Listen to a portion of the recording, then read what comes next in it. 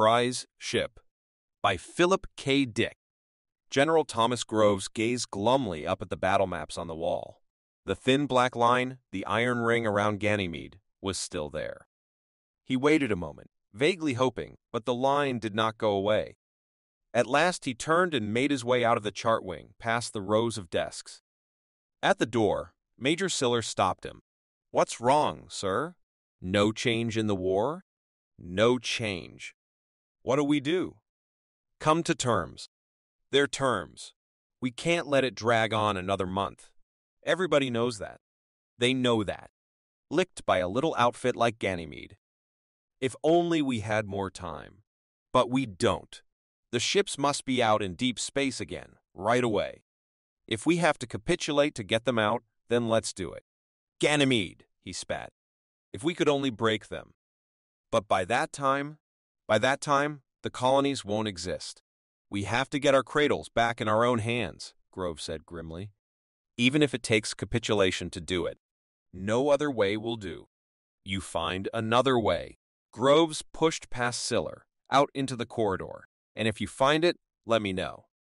The war had been going on for two Terran months, with no sign of a break. The System Senate's difficult position came from the fact that Ganymede was the jump-off point between the system and its precarious network of colonies at Proxima Centauri. All ships leaving the system for deep space were launched from the immense space cradles on Ganymede. There were no other cradles. Ganymede had been agreed on as the jump-off point. The Ganymedians became rich, hauling freight and supplies in their tubby little ships. Over a period of time, more and more Gany ships took to the sky, freighters and cruisers and patrol ships. One day, this odd fleet landed among the space cradles, killed and imprisoned the Terran and Martian guards, and proclaimed that Ganymede and the cradles were their property. If the Senate wanted to use the cradles they paid, and paid plenty, 20% of all freighted goods turned over to the Gany Emperor, left on the moon. And full Senate representation, if the Senate fleet tried to take back the cradles by force, the cradles would be destroyed. The Ganymedians had already mined them with H-bombs. The Gany fleet surrounded the moon, a little ring of hard steel. If the Senate fleet tried to break through, seize the moon, it would be the end of the cradles. What could the system do? And at Proxima, the colonies were starving. You're certain we can't launch ships into deep space from regular fields? A Martian senator asked. Only Class 1 ships have any chance to reach the colonies, Commander James Carmichael said wearily. A Class 1 ship is 10 times the size of a regular intrasystem ship. A Class 1 ship needs a cradle miles deep, miles wide. You can't launch a ship that size from a meadow. There was silence. The great Senate chambers were full, crowded to capacity with representatives from all the nine planets. The Proxima colonies won't last another 20 days, Dr. Bassett testified. That means we must get a ship on the way sometime next week. Otherwise, when we do get there, we won't find anyone alive. When will the new Luna cradles be ready? A month, Carmichael answered. No sooner? No. Then apparently we'll have to accept Ganymede's terms. The Senate leader snorted with disgust. Nine planets and one wretched little moon. How dare they want equal voice with the system members?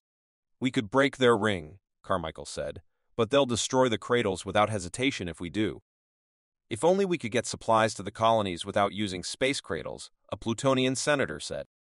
That would mean without using Class 1 ships. And nothing else will reach Proxima? Nothing that we know of. A Saturnian senator arose. Commander, what kind of ships does Ganymede use? They're different from your own? Yes, but no one knows anything about them. How are they launched?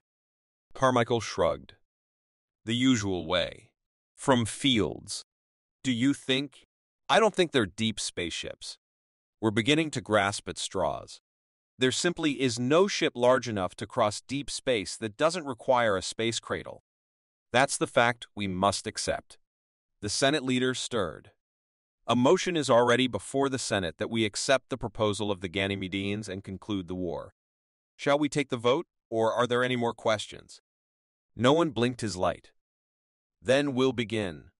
Mercury. What is the vote of the first planet? Mercury votes to accept the enemy's terms. Venus. What does Venus vote? Venus votes. Wait, Commander Carmichael stood up suddenly. The Senate leader raised his hand. What is it? The Senate is voting. Carmichael gazed down intently at a foil strip that had been shot to him across the chamber from the chart wing. I don't know how important this is, but I think perhaps the Senate should know about it before it votes. What is it? I have a message from the first line. A Martian raider has surprised and captured a Gany research station on an asteroid between Mars and Jupiter. A large quantity of Gany equipment has been taken intact. Carmichael looked around the hall, including a Gany ship, a new ship, undergoing tests at the station. The Gany staff was destroyed, but the prize ship is undamaged. The raider is bringing it here so it can be examined by our experts. A murmur broke through the chamber. I put forth a motion that we withhold our decision until the Ganymedian ship has been examined, a Uranian senator shouted. Something might come of this. The Ganymedians have put a lot of energy into designing ships, Carmichael murmured to the Senate leader. Their ships are strange, quite different from ours. Maybe. What is the vote on the motion? The Senate leader asked. Shall we wait until the ship can be examined? Let's wait. Voices cried, Wait, let's see. Carmichael rubbed his jaw thoughtfully. It's worth a try. But if nothing comes of this, we'll have to go ahead and capitulate. He folded up the foil strip. Anyhow, it's worth looking into. A Gany ship. I wonder. Dr. Earl Bassett's face was red with excitement. Let me by. He pushed through the row of uniformed officers. Please let me by. Two shiny lieutenants stepped out of his way, and he saw for the first time the great globe of steel and rexinoid that was the captured Ganymedian ship. Look at it, Major Siller whispered. Nothing at all like our own ships. What makes it run? No drive jets, Commander Carmichael said only landing jets to set her down. What makes her go? The Ganymedian globe rested quietly in the center of the Terran Experimental Laboratory, rising up from the circle of men like a great bubble. It was a beautiful ship, glimmering with an even metallic fire, shimmering and radiating a cold light. It gives you a strange feeling, General Grove said. Suddenly, he caught his breath. You don't suppose this, this could be a gravity drive ship? The Gainies were supposed to be experimenting with gravity. What's that? Bassett said. A gravity drive ship would reach its destination without time lapse. The velocity of gravity is infinite, can't be measured. If this globe is. Nonsense, Carmichael said. Einstein showed gravity isn't a force, but a warpage, a space warpage. But couldn't a ship be built using? Gentlemen, the Senate leader came quickly into the laboratory, surrounded by his guards. Is this the ship? This globe? The officers pulled back, and the Senate leader went gingerly up to the great gleaming side. He touched it. It's undamaged, Siller said. They're translating the control markings so we can use it. So this is the Ganymedian ship. Will it help us? We don't know yet, Carmichael said. Here come the Think men, Grove said. The hatch of the globe had opened, and two men in white lab uniforms were stepping carefully down, carrying a Semanti box. What are the results? The Senate leader asked. We've made the translations. A Terran crew could operate the ship now. All the controls are marked. We should make a study of the engines before we try the ship out, Dr. Bassett said. What do we know about it? We don't know what makes it run or what fuel it uses. How long will such a study take? The leader asked. Several days, at least, Carmichael said. That long? There's no telling what we'll run into. We may find a radically new type of drive and fuel. It might even take several weeks to finish the analysis. The Senate leader pondered. Sir, Carmichael said, I think we should go ahead and have a test run. We can easily raise a volunteer crew. A trial run could begin at once, Grove said but we might have to wait weeks for the drive analysis. You believe a complete crew would volunteer? Carmichael rubbed his hands together. Don't worry about that. Four men would do it. Three, outside of me. Two, General Grove said, count me in. How about me, sir? Major Siller asked hopefully. Dr. Bassett pushed up nervously. Is it all right for a civilian to volunteer? I'm curious as hell about this. The Senate leader smiled. Why not? If you can be of use, go along. So the crew is already here. The four men grinned at each other. Well, Grove said, what are we waiting for? Let's get her started. The linguist traced a meter reading with his finger. You can see the Gany markings. Next to each, we've put the Terran equivalent. There's one hitch, though. We know the Gany word for, say, 5, Zaf. So where we find Zaf, we mark a 5 for you. See this dial? Where the arrow's at Nisi? At 0. See how it's marked? 100 Li. 50K. 5 Zaf. 0 Nisi. 5 Zaf. 50K. 100 Li. Carmichael nodded. So, this is the problem. We don't know what the units refer to. 5 but 5? What? 50 but 50? What? Presumably velocity. Or is it distance? Since no study has been made of the workings of this ship, you can't interpret? How? The linguist tapped a switch.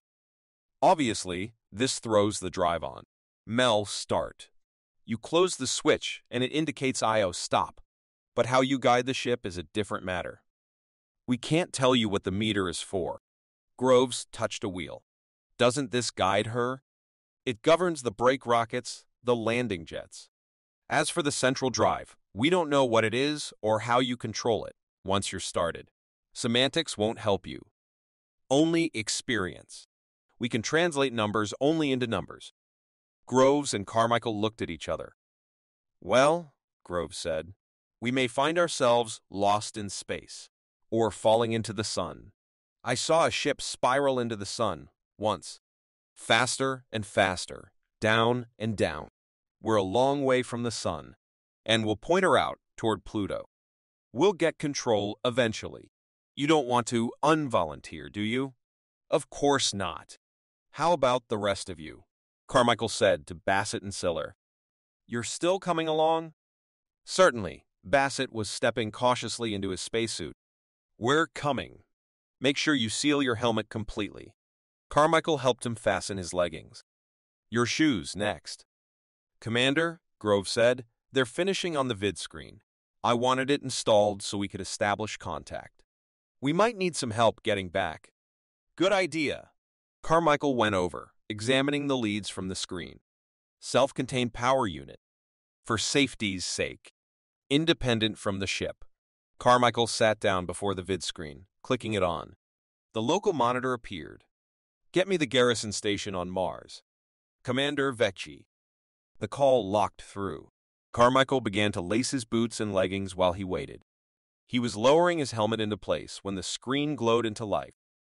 Vecchi's dark features formed, lean-jawed above his scarlet uniform. Greetings, Commander Carmichael, he murmured. He glanced curiously at Carmichael's suit. You are going on a trip, Commander? We may visit you. We're about to take the captured Gany ship up. If everything goes right, I hope to set her down at your field sometime later today. We'll have the field cleared and ready for you. Better have emergency equipment on hand. We're still unsure of the controls. I wish you luck. Vecchi's eyes flickered. I can see the interior of your ship.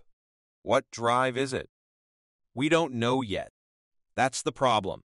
I hope you will be able to land, Commander. Thanks. So do we. Carmichael broke the connection. Groves and Siller were already dressed. They were helping Bassett tighten the screw locks of his earphones. We're ready, Groves said. He looked through the port. Outside, a circle of officers watched silently. Say goodbye, Siller said to Bassett. This may be our last minute on Terra. Is there really much danger? Groves sat down beside Carmichael at the control board. Ready? His voice came to Carmichael through his phones. Ready. Here we go. Hold on tight. He grasped the switch firmly and pulled. They were falling through space. Help! Dr. Bassett shouted. He slid across the upended floor, crashing against the table. Carmichael and Groves hung on grimly, trying to keep their places at the board. The globe was spinning and dropping, settling lower and lower through a heavy sheet of rain. Below them, visible through the port, was a vast rolling ocean, an endless expanse of blue water, as far as the eye could see. Siller stared down at it, on his hands and knees, sliding with the globe. Commander, where where should we be?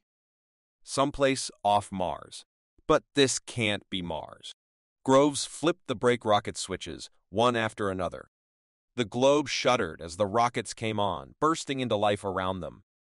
Easy does it, Carmichael said, craning his neck to see through the port. Ocean? What the hell? The globe leveled off, shooting rapidly above the water, parallel to the surface. Siller got slowly to his feet, hanging onto the railing. He helped Bassett up. Okay, Doc. Thanks, Bassett wobbled. His glasses had come off inside his helmet. Where are we? On Mars already? We're there, Grove said, but it isn't Mars. But I thought we were going to Mars. So did the rest of us. Groves decreased the speed of the globe cautiously. You can see this isn't Mars. Then what is it? I don't know. We'll find out, though. Commander, watch the starboard jet. It's overbalancing. Your switch. Carmichael adjusted. Where do you think we are? I don't understand it. Are we still on Terra? Or Venus? Groves flicked the vid screen on. I'll soon find out if we're on Terra. He raised the all-wave control. The screen remained blank. Nothing formed. We're not on Terra. We're not anywhere in the system. Groves spun the dial. No response. Try the frequency of the big Mars sender. Groves adjusted the dial. At the spot where the Mars sender should have come in, there was nothing. The four men gaped foolishly at the screen. All their lives, they had received the familiar sanguine faces of Martian announcers on that wave. 24 hours a day. The most powerful sender in the system. Mars sender reached all the nine planets and even out into deep space. And it was always on the air. Lord, Bassett said, we're out of the system. We're not in the system, Grove said. Notice the horizontal curve. This is a small planet we're on.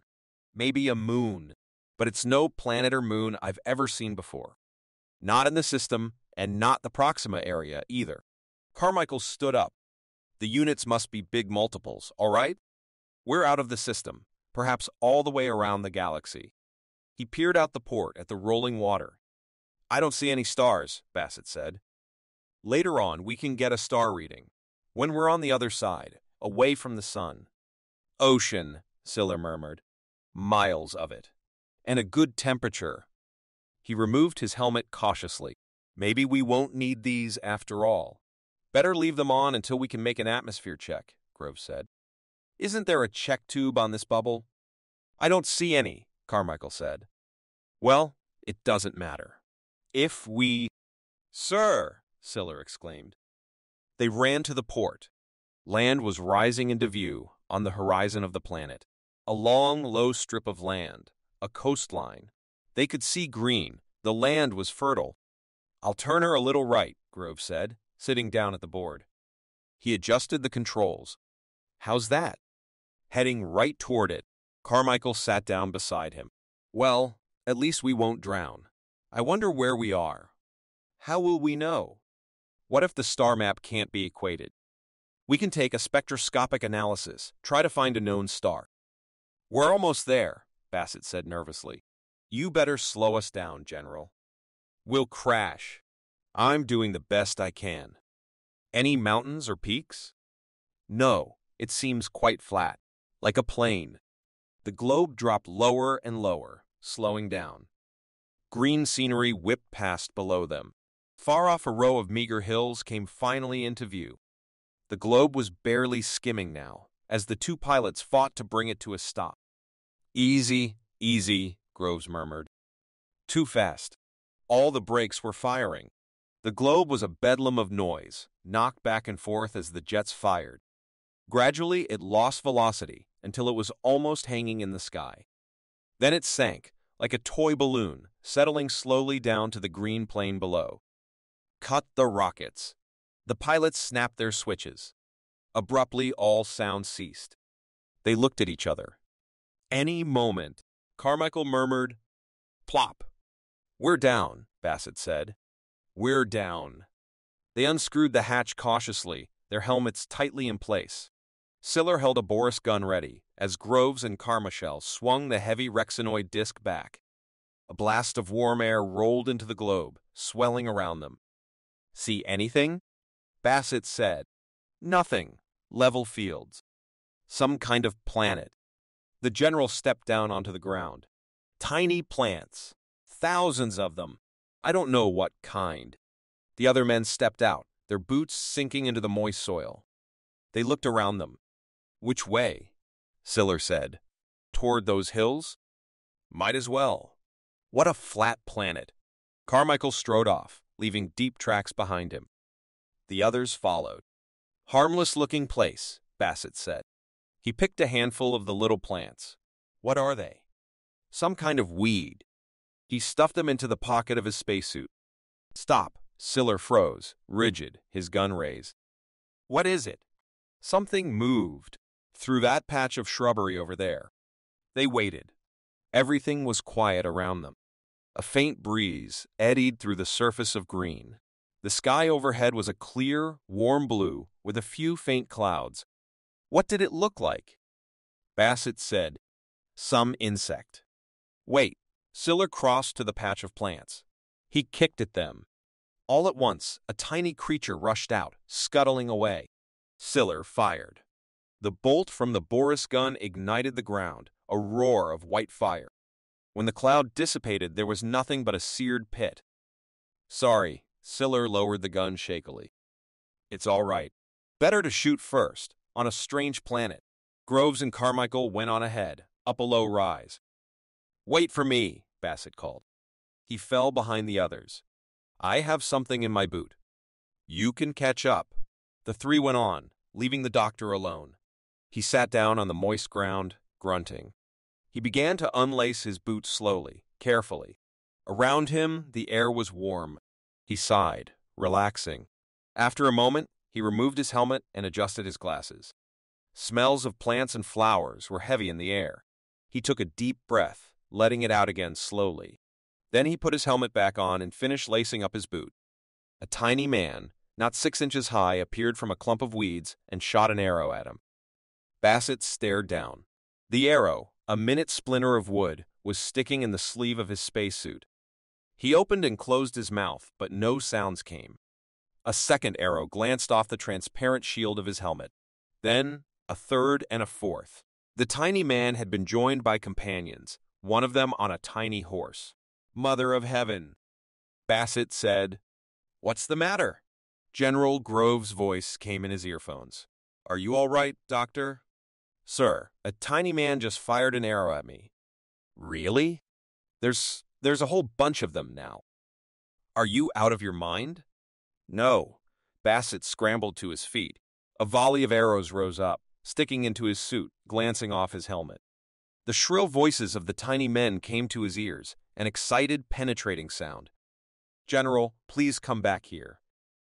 Groves and Siller appeared at the top of the ridge. Bassett, you must be out of they stopped, transfixed. Siller raised the Boris gun, but Groves pushed the muzzle down. Impossible, he advanced, staring down at the ground. An arrow pinged against his helmet. Little men, with bows and arrows. Suddenly, the little men turned and fled. They raced off, some on foot, some on horseback, back through the weeds and out the other side. There they go, Siller said. Should we follow them? See where they live. It isn't possible. Groves shook his head. No planet has yielded tiny human beings like this. So small. Commander Carmichael strode down the ridge to them. Did I really see it? You men saw it too? Tiny figures racing away? Groves pulled an arrow from his suit. We saw. And felt. He held the arrow close to the plate of his helmet, examining it. Look, the tip glitters. Metal tipped. Did you notice their costumes? Bassett said. In a storybook I once read, Robin Hood. Little caps, boots. A story. Groves rubbed his jaw, a strange look suddenly glinting in his eyes. A book. What, sir? Siller said. Nothing. Groves came suddenly to life, moving away. Let's follow them. I want to see their city. He increased his pace, walking with great strides after the tiny men, who had not got very far off yet. Come on, Siller said, before they get away. He and Carmichael and Bassett followed behind Groves, catching up with him. The four of them kept pace with the tiny men, who were hurrying away as fast as they could. After a time, one of the tiny men stopped, throwing himself down on the ground. The others hesitated, looking back. He's tired out, Siller said. He can't make it. Shrill squeaks rose. He was being urged on. Give him a hand, Bassett said. He bent down, picking the tiny figure up. He held him carefully between his gloved fingers, turning him around and around. Ouch! He set him down quickly. What is it? Groves came over. He stung me. Bassett massaged his thumb. Stung you? Stabbed, I mean. With his sword. You'll be all right. Groves went on, after the tiny figures. Sir, Siller said to Carmichael, this certainly makes the Ganymede problem seem remote. It's a long way off. I wonder what their city will be like, Groves said. I think I know, Bassett said. You know? How? Bassett did not answer. He seemed to be deep in thought, watching the figures on the ground intently. Come on, he said.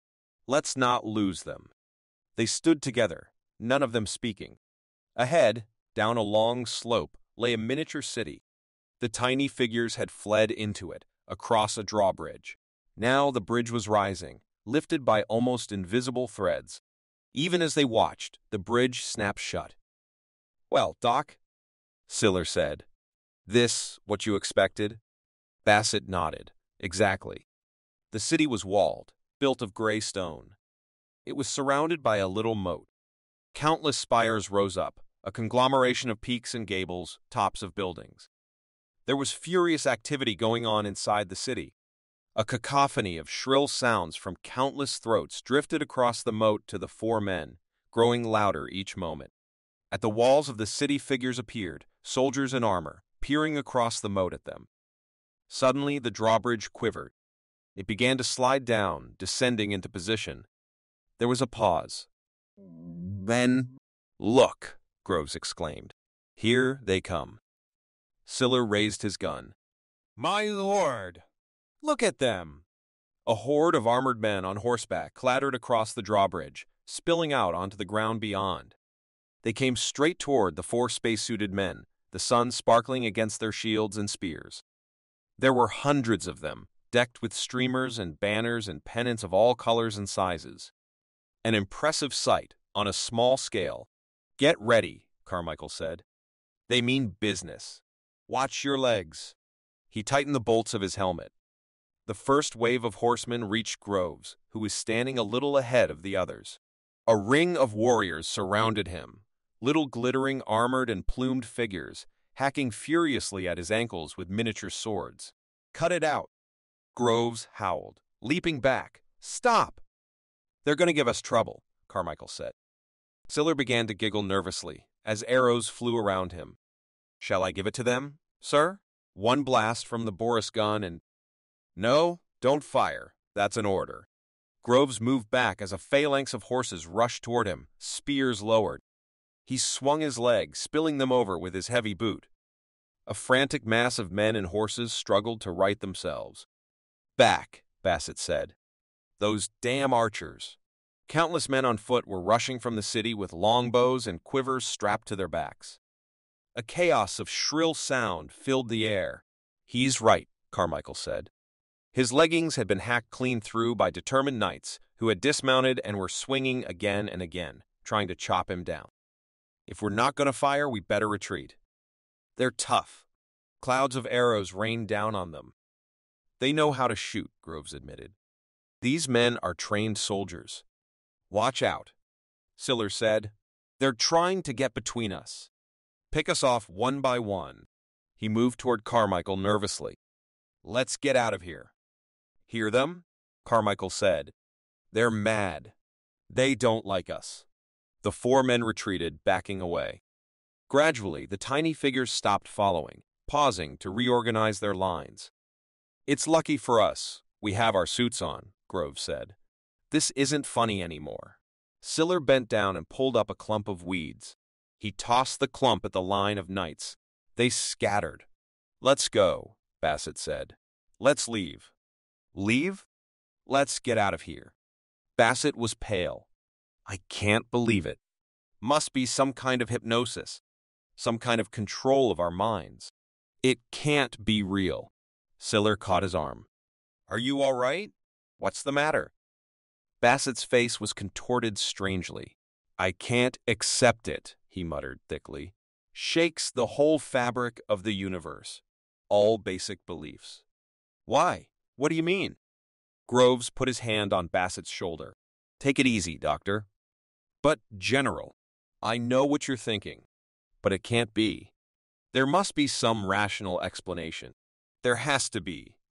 A fairy tale, Bassett muttered. A story. Coincidence. The story was a social satire, nothing more. A social satire, a work of fiction. It just seems like this place. The resemblance is only. What are you two talking about? Carmichael said. This place. Bassett pulled away. We've got to get out of here. We're caught in a mind web of some sort. What's he talking about? Carmichael looked from Bassett to Groves. Do you know where we are? We can't be there, Bassett said. Where? He made it up. A fairy tale. A child's tale. No, a social satire to be exact, Groves said. What are they talking about, sir? Siller said to Commander Carmichael. Do you know? Carmichael grunted. A slow light dawned in his face. Do you know where we are, sir? Let's get back to the globe, Carmichael said. Groves paced nervously. He stopped by the port, looking out intently, peering into the distance. More coming? Bassett said. Lots more. What are they doing out there now? Still working on their tower. The little people were erecting a tower, a scaffolding up the side of the globe. Hundreds of them were working together knights, workmen, archers, even women and boys. Horses and oxen pulling tiny carts were drawing supplies from the city. A shrill hubbub penetrated the Rexinoid hull of the globe, filtering to the four men inside. Well, Carmichael said, what'll we do? Go back? I've had enough, Grove said. All I want now is to go back to Terra. Where are we? Siller demanded, for the tenth time. Doc, you know, tell me, damn it. All three of you know. Why won't you say, Because we want to keep our sanity, Bassett said, his teeth clenched. That's why. I'd sure like to know, Siller murmured. If we went over in the corner, would you tell me? Bassett shook his head. Don't bother me, Major. It just can't be, Grove said. How could it be? And if we leave, we'll never know. We'll never be sure. It'll haunt us all our lives. Were we really here? Does this place really exist? And is this place really... There was a second place, Carmichael said abruptly. A second place? In the story. A place where the people were big. Bassett nodded. Yes, it was called what? Brobdingnag. Brobdingnag. Maybe it exists too. Then you really think this is... Doesn't it fit his description? Bassett waved toward the port. Isn't that what he described? Everything small, tiny soldiers, little walled cities, oxen, horses, knights, kings, pennants. Drawbridge, moat, and their damn towers. Always building towers and shooting arrows. Doc, Siller said. Whose description? No answer. Could, could you whisper it to me? I don't see how it can be, Carmichael said flatly. I remember the book, of course. I read it when I was a child, as we all did. Later on, I realized it was a satire of the manners of the times.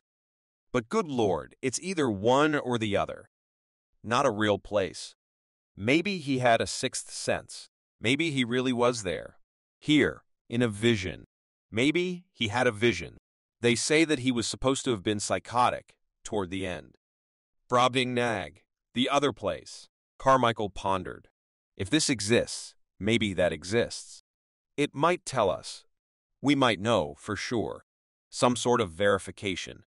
Yes, our theory. Hypothesis. We predict that it should exist, too. Its existence would be a kind of proof.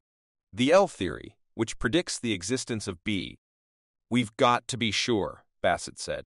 If we go back without being sure, we'll always wonder. When we're fighting the Ganymedians, we'll stop suddenly and wonder was I really there? Does it really exist? All these years, we thought it was just a story. But now, Groves walked over to the control board and sat down. He studied the dials intently. Carmichael sat down beside him. See this, Groves said, touching the big central meter with his finger. The reading is up to lie 100. Remember where it was when we started? Of course. At Nisi, at zero. Why?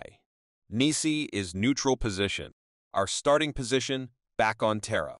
We've gone the limit one way. Carmichael, Bassett is right. We've got to find out. We can't go back to Terra without knowing if this really is.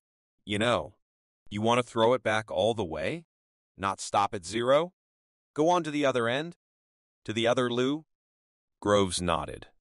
All right. The commander let his breath out slowly. I agree with you. I want to know, too. I have to know. Dr. Bassett. Groves brought the doctor over to the board. We're not going back to Terra. Not yet. The two of us want to go on. On? Bassett's face twitched. You mean on beyond? To the other side? They nodded. There was silence.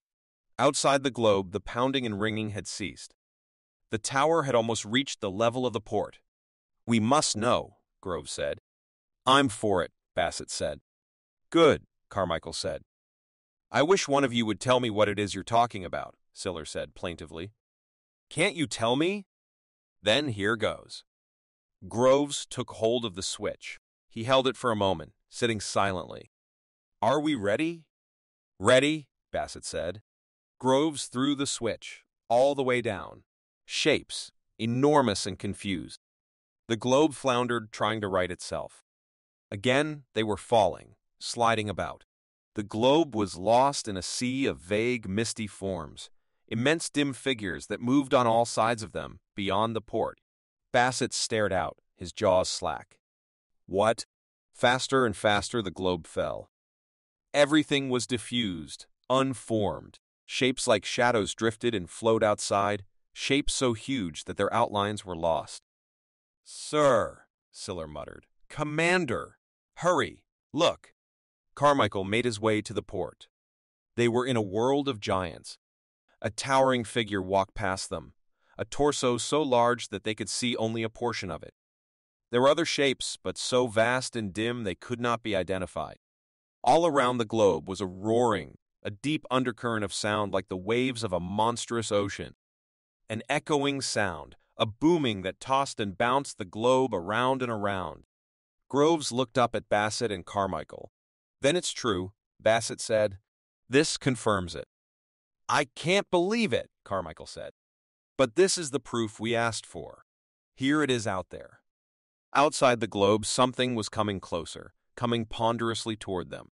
Siller gave a sudden shout, moving back from the port. He grabbed up the Boris gun, his face ashen. Groves, Bassett cried. Throw it to neutral. Quick, we've got to get away. Carmichael pushed Siller's gun down. He grinned fixedly at him. Sorry. This time, it's too small. A hand was reached toward them, a hand so large that it blotted out the light. Fingers, skin with gaping pores, nails, great tufts of hair. The globe shuddered as the hand closed around them from all sides. General, quick. Then it was gone. The pressure ceased, winking out. Beyond the port was nothing. The dials were in motion again, the pointer rising up toward Nisi. Toward neutral. Toward Terra. Bassett breathed a sigh of relief. He removed his helmet and mopped his forehead. We got away, Grove said. Just in time. A hand, Siller said, reaching for us. A big hand. Where were we? Tell me. Carmichael sat down beside Groves. They looked silently at each other. Carmichael grunted. We mustn't tell anyone. No one. They wouldn't believe us, and anyhow, it would be very damaging if they did. A society can't learn something like this. Too much would totter. He must have seen it in a vision. Then he wrote it up as a children's story. He knew he could never put it down as fact. Something like that. So it really exists. Both exist. And perhaps others. Wonderland, Oz, Pellucidar, Erewhon, all the fantasies, dreams. Groves put his hand on the commander's arm. Take it easy. We'll simply tell them the ship didn't work. As far as they're concerned, we didn't go anywhere, right? Right. Already, the vidscreen was sputtering, coming to life. An image was forming. Right. We won't say anything. Just the four of us will know. He glanced at Siller. Just the three of us. I mean, on the vidscreen, the image of the Senate leader was fully formed. Commander Carmichael, are you safe? Were you able to land? Mars sent us no report. Is your crew all right? Bassett peered out the port. We're hanging about a mile up from the city. Terra City, dropping slowly down. The sky is full of ships. We don't need help, do we? No, Carmichael said. He began to fire the brake rockets slowly, easing the ship down. Someday, when the war is over, Bassett said, I want to ask the Ganymedeans about this. I'd like to find out the whole story. Maybe you'll get your chance, Groves said, suddenly sobered. That's right. Ganymede, our chance to win the war certainly fizzled. The Senate leader is going to be disappointed, Carmichael said grimly. You may get your wish very soon, Doctor. The war will probably be over shortly, now that we're back empty-handed. The slender yellow Ganymede moved slowly into the room, his robe slithering across the floor after him. He stopped, bowing. Commander Carmichael nodded stiffly. I was told to come here, the Ganymedean lisped softly. They tell me that some of our property is in this laboratory. That's right. If there are no objections, we would like to. Go ahead and take it. Good. I am glad to see there is no animosity on your part. Now that we are all friends again, I hope that we can work together in harmony, on an equal basis of. Carmichael turned abruptly away, walking toward the door. Your property is this way. Come along. The Ganymedian followed him into the central lab building. There, resting silently in the center of the vast room, was the globe. Groves came over. I see they've come for it. Here it is, Carmichael said to the Ganymedian. Your spaceship. Take it. Our time ship, you mean? Groves and Carmichael jerked. Your what? The Ganymedian smiled quietly. Our time ship. He indicated the globe. There it is. May I begin moving it onto our transport? Get Bassett, Carmichael said. Quick! Groves hurried from the room. A moment later, he returned with Dr. Bassett. Doctor, this Gany is after his property. Carmichael took a deep breath. His, his time machine. Bassett leapt. His what? His time machine? His face twitched. Suddenly, he backed away. This, a time machine? Not what we not. Groves calmed himself with an effort. He addressed the Ganymedian as casually as he could, standing to one side, a little dismayed. May we ask you a couple of questions before you take your, your time ship? Of course. I will answer as best I can. This globe, it, it goes through time, not space. It's a time machine, goes into the past, into the future. That is correct. I see. And Nisi on the dial, that's the present. Yes. The upward reading is the past? Yes. The downward reading is the future then. One more thing. Just one more. A person going back into the past would find that, because of the expansion of the universe, the Ganymedian reacted. A smile crossed his face, a subtle, knowing smile. Then you have tried out the ship? Groves nodded. You went into the past and found everything much smaller? Reduced in size? That's right, because the universe is expanding. And the future. Everything increased in size, expanded. Yes, the Ganymedian's smile broadened. It is a shock, is it not? You are astonished to find your world reduced in size, populated by minute beings. But size, of course, is relative, as you discover when you go into the future. So that's it. Groves let out his breath. Well, that's all. You can have your ship. Time travel, the Ganymedian said regretfully, is not a successful undertaking. The past is too small, the future too expanded. We considered this ship a failure. The Gany touched the globe with his feeler. We could not imagine why you wanted it. It was even suggested that you stole the ship to use the Gany's smiled to use to reach your colonies in deep space. But that would have been too amusing. We could not really believe that. No one said anything. The Gany made a whistling signal. A work crew came filing in and began to load the globe onto an enormous flat truck. So that's it, Groves muttered. It was Terra all the time.